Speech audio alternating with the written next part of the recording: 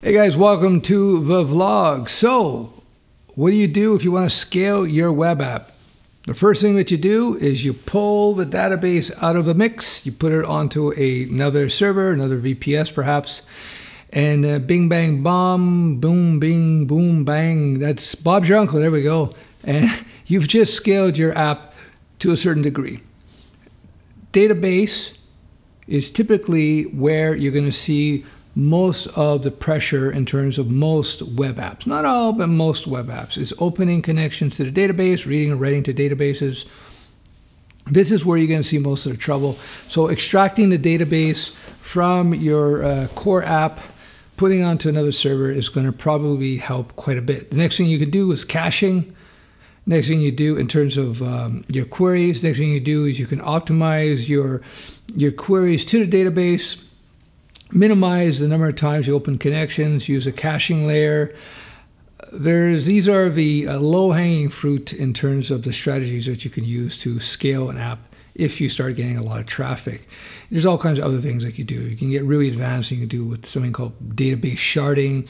You can start doing load balancing. You can start using high performance HTTP servers like uh, Nginx and there's all kinds of settings you can do in there to optimize things. So why am I talking about this? Well, it's come up. It's come up recently. We are uh, looking at this issue now with Studio Web 4 in terms of load coming on board, and uh, so we got to start looking at proper scaling. Now, let me back up. Before you start extracting parts of your app and putting it onto other servers, database being the first thing I would touch, you could just raise the RAM and the CPU on the on the uh, the main server.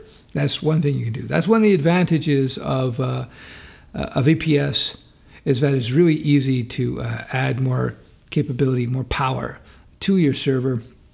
You just dial it in. I use a couple of uh, VPSs. Uh, we're going to be, I think, concentrating more on uh, DigitalOcean um, for our needs.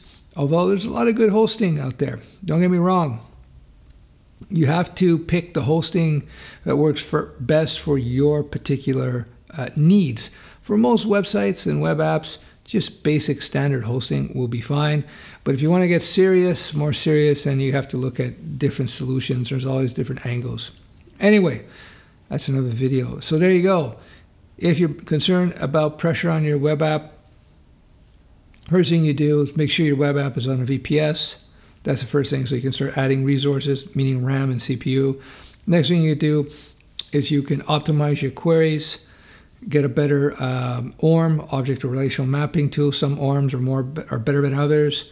And next thing you do is pull the database out, put it on its own server, so it has its own dedicated uh, CPU and RAM. And right there, that will handle 99.99% of people's sites. That's where we are at now. We're doing that. we also have a caching layer and so on. But it's something that's come up. So I figure I'd do a quick vlog about it. There you go.